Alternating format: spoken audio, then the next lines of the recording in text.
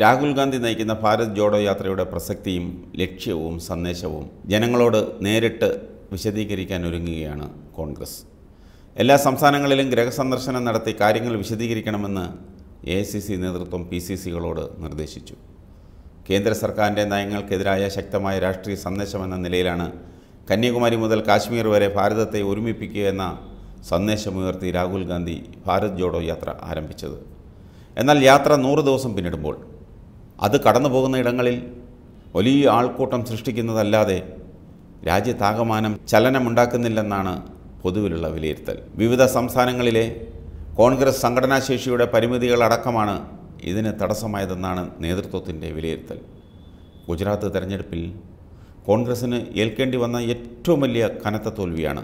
ഇത്തരത്തിൽ ചിന്തിക്കാൻ നേതൃത്വത്തെ നിർബന്ധിതമാക്കിയതും ഗുജറാത്ത് തെരഞ്ഞെടുപ്പ് ഫലമാണ്. ഹിമാചൽ പ്രദേശിലെ വിജയം ഉയർത്തിക്കാട്ടി പരസ്യമായി അതിനെ പ്രതിരോധിക്കുന്നുണ്ടെങ്കിലും സംഘടനാ ദൗർബല്യങ്ങൾ നേതൃത്വത്തിനും കൃത്യമായി ബോധ്യമുണ്ട്. സംസ്ഥാനങ്ങളിൽ താഴെത്തട്ടിലുള്ള സംഘടനാ പ്രവർത്തനത്തിന്റെ ദൗർബല്യമാണ് കോൺഗ്രസിൽ മുഴച്ചു നിൽക്കുന്നതെന്നാണ് നേതൃത്വത്തിന്റെ വിലയിരുത്തൽ. ഇതെല്ലാം പരിഹരിച്ച് ഭാരത് ജോഡോ യാത്രയുടെ ലക്ഷ്യം പ്രാവർത്തികമാക്കാൻ ആവശ്യമായ സംഘടനാശേഷി വീണ്ടെടുക്കാനാണ് ശ്രമം. ജോഡോ യാത്ര അടുത്ത മാസം മുപ്പതിനാണ് കാശ്മീരിൽ സമാപിക്കുന്നത്. റിപ്പബ്ലിക് ദിനമായ ജനുവരി ഇരുപത്താറ് മുതൽ രണ്ട് മാസക്കാലം ജോഡോ യാത്രയുടെ സന്ദേശം ജനങ്ങളിൽ എത്തിക്കാനുള്ള ഹാത്ത് കെ ഹാത്ത് ജോഡോ അഭിയാൻ പ്രചരണ പരിപാടിയാണ് എ സി സി സംസ്ഥാനങ്ങളോട് നിർദ്ദേശിച്ചിരിക്കുന്നത്. രണ്ടായിരത്തി ഇരുപത്തിനാലിലെ ലോക്സഭാ തെരഞ്ഞെടുപ്പിന് മുൻപായി ഊർജം വീണ്ടെടുക്കുകയാണ് ലക്ഷ്യം. അതേസമയം കെ പി സി സി പുനഃസംഘടനയ്ക്ക് കഴിഞ്ഞ രാഷ്ട്രീയകാര്യ സമിതി യോഗം പച്ചക്കൊടി കാട്ടിയിരുന്നു.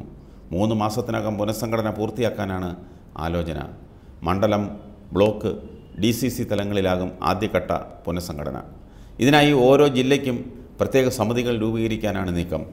മണ്ഡലം ബ്ലോക്ക് പ്രസിഡന്റ് സ്ഥാനത്തേക്കും ഡി സി സി ഭാരവാഹിത്വത്തിലേക്കും പരിഗണിക്കേണ്ടവരുടെ പാനൽ കെ പി സി സിക്ക് കൈമാറുക എന്നതാണ് ഈ സമിതികളുടെ ഉത്തരവാദിത്വം.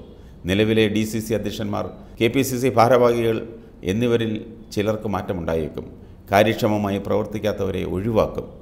ഇതിനിടയിൽ പുനഃസംഘടനയിൽ ഗ്രൂപ്പ് പരിഗണന പറ്റില്ലെന്ന വ്യക്തമായ സന്ദേശവുമായി കെ മുരളീധരനും രംഗത്തു വന്നു. തരൂരിന്റെ നേതൃത്വത്തിൽ ശക്തമായ ഒരു വിഭാഗം കൂടി കേരളത്തിലെ കോൺഗ്രസിൽ ഉയർന്നു വരുന്ന സാഹചര്യത്തിൽ പുനഃസംഘടന അത്ര എളുപ്പമാകില്ല. കുറേ വെള്ളം കുടിക്കും.